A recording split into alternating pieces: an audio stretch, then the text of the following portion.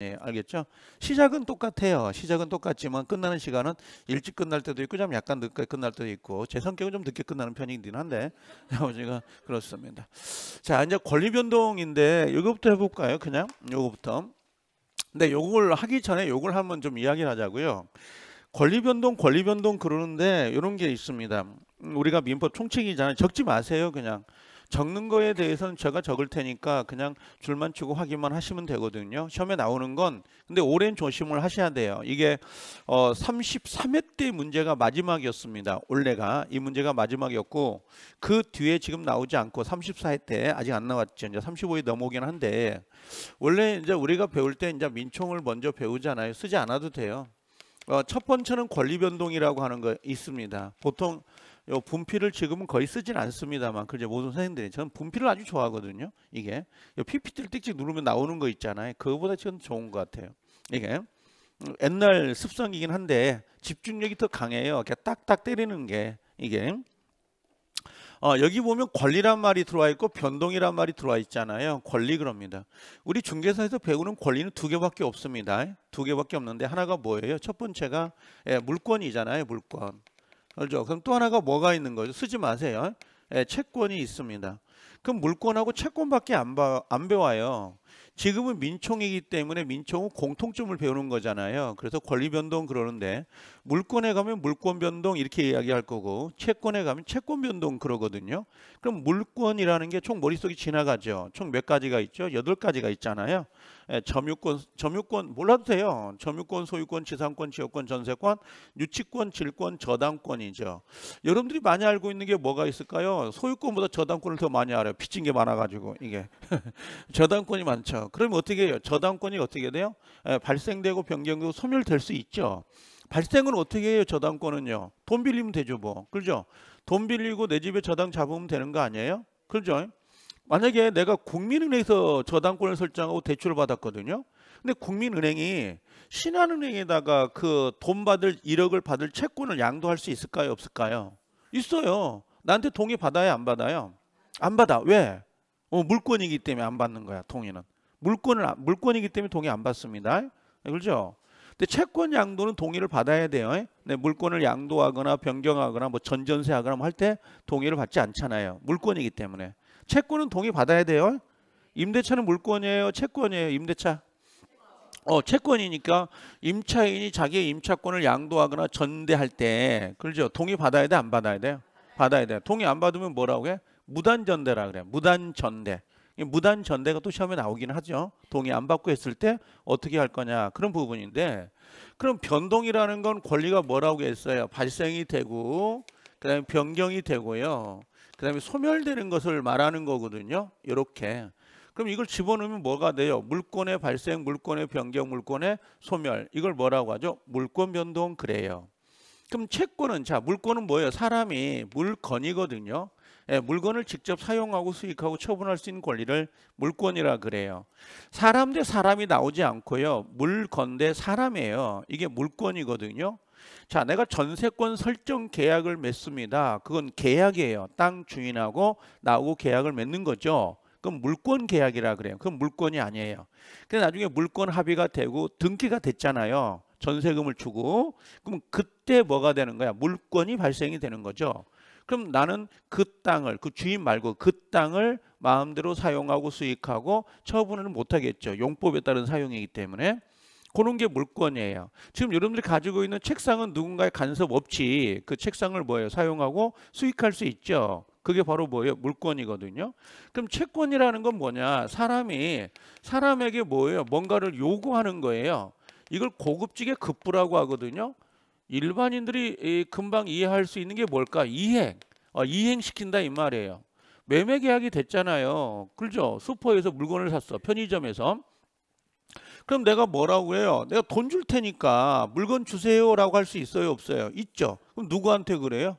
그 사장님한테나 알바생한테 그러는 거 아니에요? 사람이 사람에게 요게 채권이에요. 사람이 사람에게 뭔가를 요구하면 그냥 99%가 채권이다 생각하면 돼요. 이게요. 채권 그러면 그럼 채권을 원- 채권이고 이게 물권이란 말이에요. 그럼 권리 변동은 요 두 개의 변동을 이야기하는 거거든요. 요게 먼저 나오고 어, 권리를 변동시키는 원인이 있단 말이죠. 그죠? 그 원인이 두 가지가 있다는 거예요. 두 두 가지가 뭔가요? 라고 물어보면 하나는 당사자가 의도한 대로 뭐라고 했어요? 에, 효과가 발생이 되는 경우가 있고 당사자 의도와는 상관없이 에, 효과가 발생이 되는 경우가 있어요. 그럼 의도하지 않았는데 효과가 발생한다? 그럼 근거가 있어야 될 거 아니냐? 그 근거가 뭐예요? 법의 음, 규정이죠, 규정. 예, 규정에 따라 효과가 발생이 된다라고 하는 거죠. 의도와 상관없이. 여러분들 부모님 돌아가 부모님은 돈이 많은 게 좋아요, 없는 게 좋아요? 많은 게 좋아요. 그죠? 내 빚을 졌습니다. 근데 어머니가 내 빚을 갚아줬어요. 얼마나 좋아요. 오래 살기를 바라죠. 그죠? 그러지 않아요? 그냥 돈이 없네요, 부모님이. 그럼 어떻게 해요? 그냥 천수 누리다 가셨으면 그런 생각이고. 그렇죠. 근데 돈이 많은 부모님은 어떻게 천수를 뛰어넘어서 오래 사셨으면 그렇죠. 힘들 때마다 돈을 대주는 거니까 돈이 좋아요, 좋기는. 그죠? 이게. 그러면 의도는 뭐냐? 이게 법률 의도한 대로 이 의도가 다른 표현이 뭘 것 같아요? 의도가 다른 표현이 뭘 것 같아? 의도한다, 의도한 대로 이게 뭐죠? 예, 의사 표시지 뭐야, 그냥. 예, 의사 표시에 따라서 효과를 발생시키는 거, 의도한 대로 효과가 발생하는 거, 그렇죠? 요게 요게 뭐가 되는 거야? 이걸 법률 어, 행위 이렇게 이야기한단 말이죠. 이렇게 법률 행위. 근데 어, 부모님이 아까 갑자기 돌아가셔요. 그럼 부모님이 가지고 있는 상속이 있잖아, 재산. 그 상속은 내 의도와 관계가 있어요, 없어요? 없어요. 그냥 상속법에 따라서 그냥 싹 받게 되죠. 요즘은 전부 다 남자, 여자, 시집간 누나, 언니, 동생 상관없이 전부 다 일로 받잖아요. 똑같이. 배우자만 0.5를 더 받습니다만 나는 장남이니까 너무 억울해요. 그게 조금은요. 아니, 더 받아야 될 거 아니에요. 장남은요. 제사 지내기 때문에. 자, 자, 이게 뭐야? 의도와 상관없이 법의 규정에 따라 효과를 받는 거. 이걸 뭐라고 하죠? 이걸 법률 음, 규정이라고 하는데 다른 말로 뭐라고 하는지 아세요? 다른 말로? 다른 말로 뭐라고 할까? 이걸 준 예, 법률 행위라 그래요. 법률 행위 그래요. 이렇게 요 준자를 붙여주는 이유는 뭐냐면 얘는 의사표시를 요소로 하는 거고 얘는 의사표시를 요소로 하지 않잖아요. 근데 효과가 발생이 되거든. 그 준자를 붙이는 거야. 우승, 준우승 이런 것처럼. 그래서 얘는 법률행위, 얘는 준법률행위 이렇게 이야기하거든요. 다른 말로 우리가 보통 앞에다가 법정이란 말을 쓰죠. 법정. 예, 법으로 정해져 있는 지상권, 법정 지상권, 그냥 지상권, 얘는 법정 지상권, 그죠? 예, 법의 규정에 따라 효과가 발생이 됩니다. 둘 다 효력은 똑같아요. 발생 원인만 다를 뿐이지. 나중에 우리 물권에 가면 공부 더해 있는 사람들, 더 돼 있는 사람들, 물권에 가면 법률 행위는 몇 조가 적용되냐면 186조 등기해야 돼, 안 해야 돼요? 어, 해야 된다라고 보통 되어 있잖아요. 근데 여기는 뭐예요? 법률 규정은 187조 등기를 요한다 안 한다. 등기 안 해도 된다. 성립은 된다. 취득할 수는 있다. 근데 처분할 때는 등기를 해야 된다. 여긴 처분 요건이고 여긴 성립 요건이잖아요. 예, 등기법 가면 음, 등기 잘하잖아, 전부 다. 점수가 안 나와서 그러지. 자, 이런 거예요. 그럼 이제 여기서 권리 변동에서 가장 핵심이 되는 게 법률 행위잖아요. 그래서 두 번째 오늘 배울 거 법률 행위까지 가게 되거든요. 법률 행위를 가져오는 거예요. 법률 행위의 가장 핵심이 뭐죠? 의사표시잖아요. 그래서 세 번째가 뭐가 되냐면 다음 시간에 이 의사표시라는 걸 배우게 되는 거고 법률행위는 뭐예요? 계약이라고 할 수 있는 거잖아요. 네 꼴은 아니지만 네 번째는 뭐가 들어온다? 대리 제도가 되죠. 법률행위를 반드시 내가 해야 되는 건 아니잖아요. 다른 사람에게 대신시킬 수 있는 거잖아요. 그리고 대신해서 행위 효과를 발생시킬 수 있다. 대리제도. 자, 법률행위가 뭐가 될 수 있죠? 만약에 무효가 되기도 하고 음, 취소가 되기도 해요. 무효 취소가 되기도 하죠. 그럼 법률 행위를 할 때에 다섯 번째, 아, 여섯 번째 조건을 붙이거나 기한을 붙일 수 있어요, 없어요? 있어요. 여기서 질문. 자, 조건과 기한은 당사자 의사에 의해서 붙여져야 되나요? 법의 규정에 의해서 붙여져야 되나요? 지금 조건 기한 여기 말하는 거야. 조건 기한은 아, 눈 크게 뜨면 여기네. 법률 행위네. 법률 행위 의사 표시네. 그럼 당사자 의사에 따라서 붙여져야 되는 거죠. 만약에 법의 규정에 의해서 붙여져 있는 조건과 기한은 조건이 아니에요. 기한이 아닙니다. 자, 그럼 물어볼게요.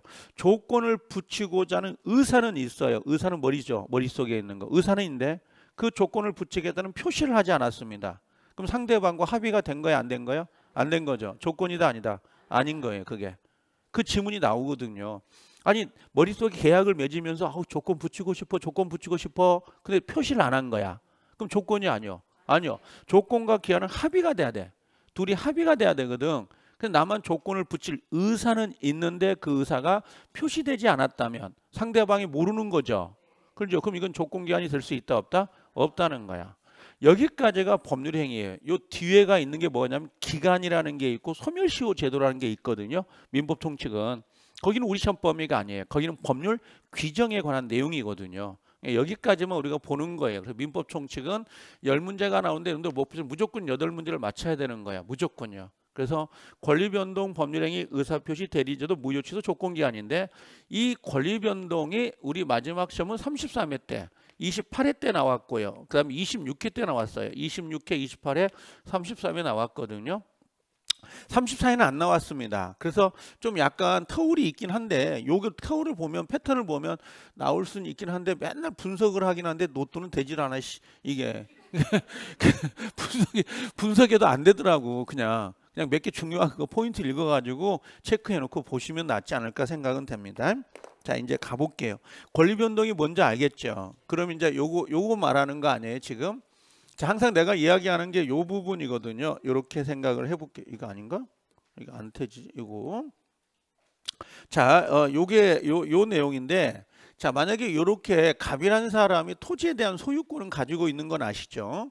근데 건물이 없단 말이에요. 근데 위에 나중에 뭐예요?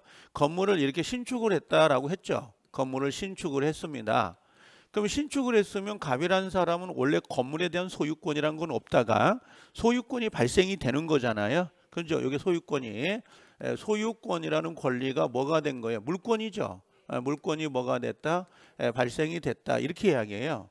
그럼 발생이 됐는데 전에 주인이 있었나요? 주인이 없었나요? 없죠. 없는 취득을 우리가 뭐라고 하냐면 원시라 그래요. 원시 취득. 전에 주인이 없다가 생기는 거. 신축이 가장 대표적인 거죠. 이건요. 이거 신축입니다. 그죠? 그럼 여기 살도가 있다가 나중에 이 건물을 누구한테 팔 수 있다는 거예요? 예, 을에게 매매를 할 수 있어요, 없어요? 있죠. 또 상속을 받을 수 있어요, 없어요?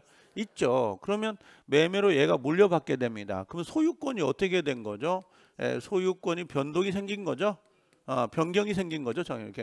그 변동이 생겼다고 하는데 변경이라고 하는데 이게 변경이라고 헷갈려. 또 크게 작은 걸 말하는 거니까. 자, 이거 변경이 이거 변경이 생겼습니다. 근데 소유권자가 바뀌긴 한데 이걸 이제 주체 변경이라고 하긴 하거든요. 소유자가 바뀐 거니까 얘는 지금 넘어가면서 요 을이라는 사람은 이 갑의 물건을 승계받은 사람이잖아요. 이걸 승계 취득이라고 한다고 물려받은 거. 처음으로 갖는 사람은 원시 취득, 물려받는 건 승계 취득 그거든요. 그럼 얘는 지금 매매면 뭐겠어요? 특정 상품만 넘어가는 거잖아요. 매매 특정 승계라 그러고 어 상속 같은 경우는 포대게 싸가지고 아버님이 쓰고 있던 뭐 숟가락, 밥가락 다 넘어가잖아요. 이걸 뭐라고 하죠? 예, 포괄승계 그래요. 그것만 구별할 수 있으면 되거든요. 그러다가 나중에 살고 계시다가 이 건물이 어떻게 이제 천재지변 등으로 소실될 수도 있어요, 없어요? 있죠. 그럼 소유권이 어떻게 된다 그랬죠? 소멸된다라고 되어 있습니다. 지상에서 아예 소, 어, 소유권 자체가 없어진다는 건 목적물이 없어지는 거잖아요. 이걸 절대적 소멸이라고 그래요. 사람으로 친다면 죽어버리는 거, 그죠? 그 다음에 어, 소유권자가 바뀌는 경우가 있잖아요. 누구한테 병한테 팔았을 때 목적물 자체가 없어지는 건 아니고 주체가 바뀌는 거 있죠. 근데 을의 입장에서는 그 권리가 소멸되는 거잖아요. 이런 걸 상대적 소멸 그래요. 예전에 우리가 보통 사람이 죽은다 그러면 절대적 소멸이고 여자분들이 보통 예전에 호주 제도가 있을 때 시집을 가잖아요. 그럼 아버님 호 쪽에서 파가지고 그 신랑 호 쪽으로 바뀌는 거거든요. 호적을 이전하, 이전하잖아요. 그게 상대적 소멸이에요. 그렇게 생각하면 요게 그래서 사람으로 친다면 출생하고 살아가고 죽는 과정을 나타나는 게 권리 변동이거든요. 권리 변동의 원인이 나타난 게 뭐가 있다고? 두 가지밖에 없다고. 하나가 뭐예요? 당사자가 의도한 대로 권리가 바뀌는 경우 법률행위. 당사자 의사와 상관없이 법의 규정에 따라 효과가 바뀌는 거. 권리가 변동이 바뀌는 게 뭐가 돼요? 법률 규정 이렇게 이야기하거든요. 자 그러면 그 모습만 잠깐